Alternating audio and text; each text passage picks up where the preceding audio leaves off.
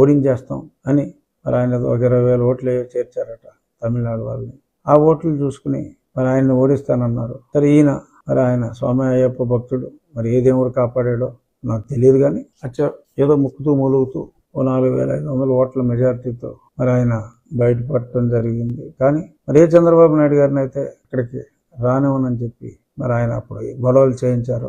మరి ఇప్పుడు ఆయన నియోజకవర్గంలోనే ఆయన అడుగు పెడతానికి వీల్లేదు అని చెప్పి మరి కొంతమంది నిన్న చాలా కొంతమంది కాదు కొన్ని వేల మంది వారి నిరసనని తెలియజేయడం జరిగింది. ఎందుకంటే అవమానం ఒక ప్రజానాయకుడికి ఏముంటుంది? మరి అన్ని సంవత్సరాలు అక్కడ ఉండి మరి అక్కడ ప్రజలే వేల సంఖ్యలో ఏదో యా పది మంది ఇరవై మంది అంటే ఏదో ఎవడో సొమ్ములు ఇచ్చి గొడవ చేయించడం వేల సంఖ్యలో అక్కడికి వచ్చి గెట్అవుట్ గెట్అవుట్ అని అన్నారు అంటే మరి గతంలో పెద్దిరెడ్డి గారు ఏదైతే చేశారో మరి అదే మరి ఆయనకి తిరిగి ఆయనకే తగులుకుంది అని అనుకోవటానికి ఇది నిదర్శనం. అలాగే మరి నా నియోజకవర్గంలో కూడా మరి కొంతమంది ఎమ్మెల్యేలు నా గురించి మంత్రులు మొన్నటిదాకా తాజా మాజీలు అంతకుముందు మాజీలు కూడా మరి నా ఇల్లుని మొదలు కొట్టాలనుకున్నారు ఇంకెన్నో అవాకులు చవాకులు నోటుకొచ్చినట్టుగా మాట్లాడారు.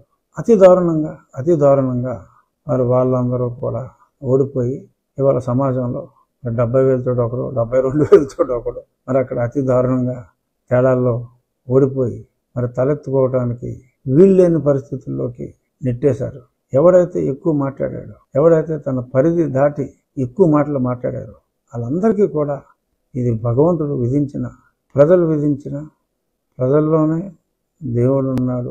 దేవుడు డైరెక్ట్గా వచ్చి పూర్వం రోజుల్లో లాగా ఎన్టీ రామారావు సినిమాలో చూసినట్టు చేతిలో విష్ణు చక్రాలు ఇవన్నీ ఉండవు.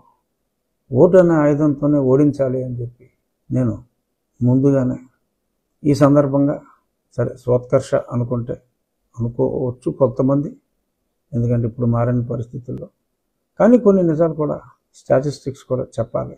ఎందుకంటే ఒక పార్లమెంట్ సమావేశం కానీ అసెంబ్లీ సమావేశం కానీ ఒక సెషన్ ముగిసిన తర్వాత మరి ఎన్నిసార్లు ఎన్ని గంటలు సభ జరిగింది ఈ అన్నిటి మీద ఒక చిన్న రిపోర్ట్ స్పీకర్ గారు చెప్తారు. అలాగే అదే మాదిరిగా నేను కూడా ఎగ్జాక్ట్ అవర్స్ ఇంకా క్యాల్కులేట్ చేయలేదు కానీ ఉజ్జాయింపుగా కొన్ని చెప్పవలసిన అవసరం కూడా ఉందేమో అని నాకు అనిపించింది. సొంత డబ్బా కొట్టుకుంటున్నాడేమో రాజుగారు అని ఎవరైనా భావిస్తే ఐఎమ్ సారీ ఉన్న డబ్బానే నేను చెప్తున్నా.